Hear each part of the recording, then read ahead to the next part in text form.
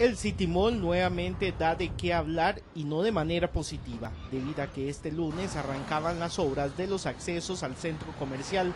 Sin embargo, una descoordinación policía de tránsito atrasó el inicio de los trabajos. Nosotros como policía de tránsito y este servidor como jefatura de la región central metropolitana eh, no tengo conocimiento oficial de, la, de las acciones que se van a realizar ahí efectivamente, pues eh, si hay una situación importante de colapso o algún cierre, pues tendremos como policía que llegar para atender el evento, pero oficialmente desconocemos el acto.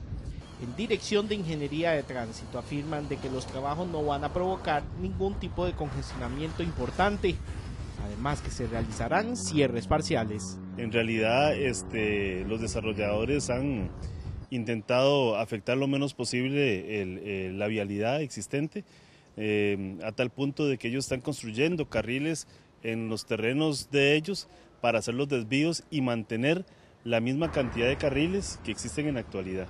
Eso es algo importante porque a pesar de que va a haber una afectación, porque la gente va a tener que eh, cambiar su dirección un poquito, pero mantiene la misma cantidad de carriles que tienen en actualidad.